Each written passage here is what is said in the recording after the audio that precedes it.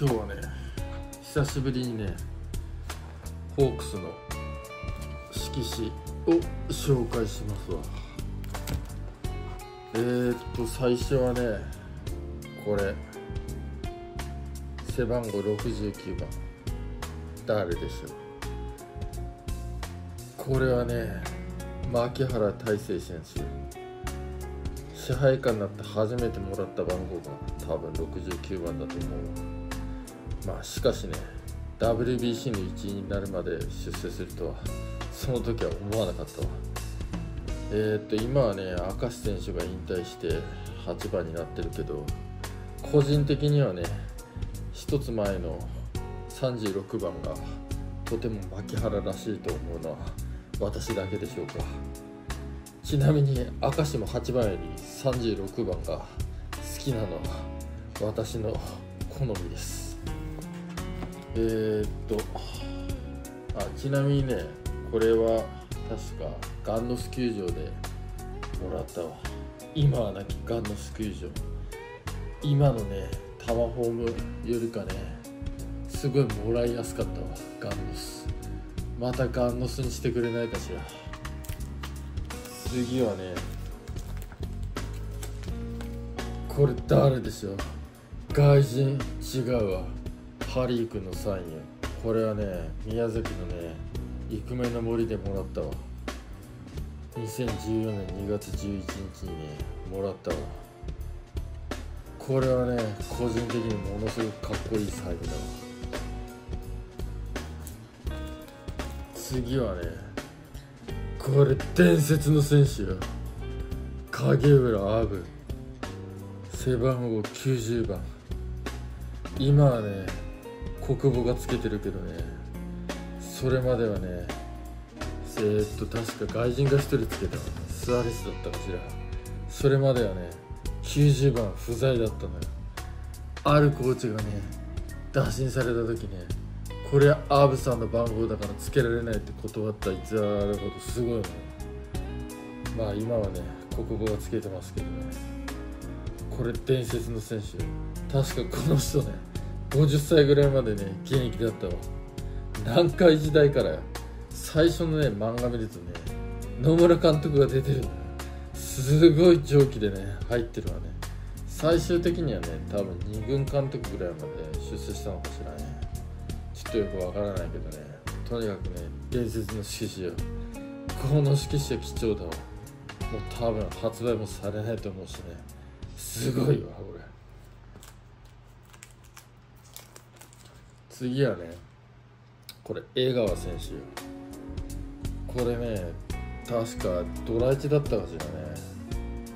まあすごい長打力でねいい選手だったけどあまり1軍に定着もせず2軍の帝王で終わったわちなみにね江川選手はサインをもらうの。とても難しかったわ普通のねこうあの2軍の試合だとねサイン書かないのよ。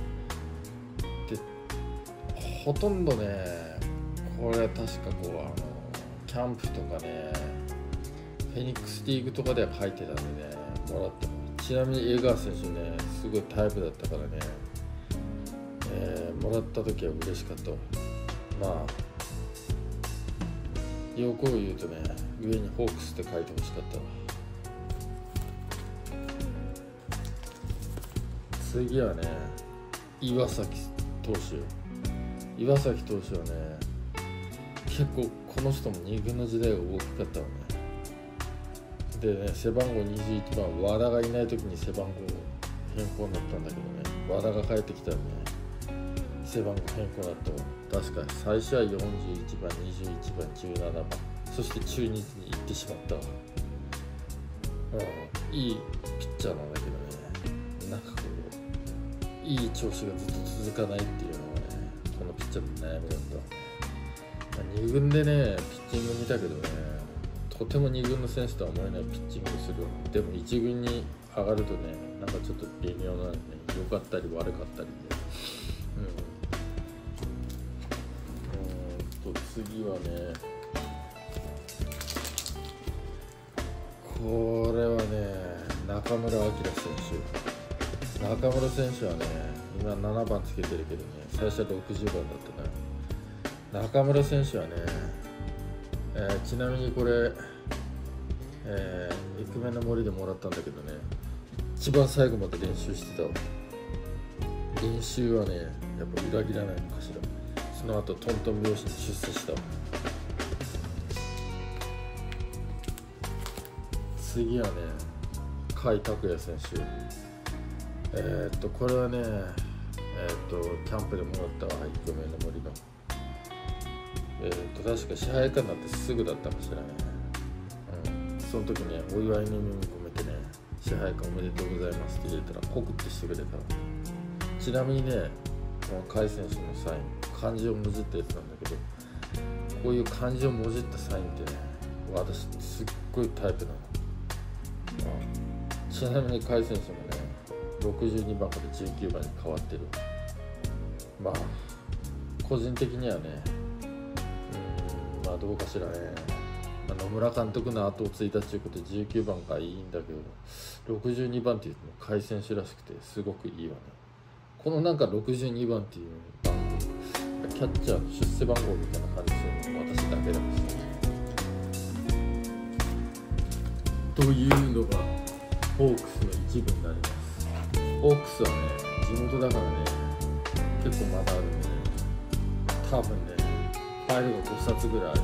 まあ順次紹介するからまたよろしく。ということでね第1部終わります。Have a nice day